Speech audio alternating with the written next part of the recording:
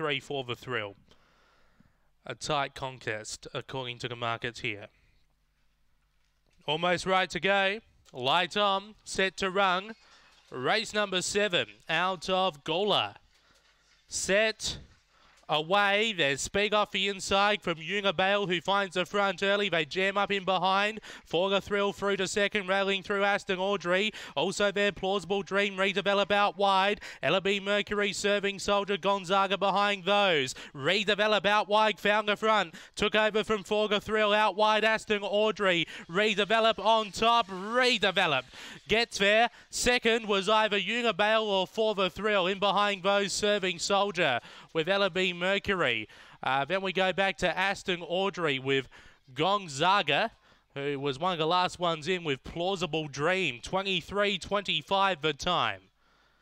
Number five, your winner, Redevelop. Gets for cash for Neil Mann. Was backed in late. Beats home the three for the thrill, Kim Johnston. Third will be number one, Yunga Bale, Paul Fagan. Fourth, number eight, Serving Soldier. Kevin Bewley rung home in 14.30, 23.25 overall, 23.25, 5318, 5318 are the numbers after race number seven here today at Gawler.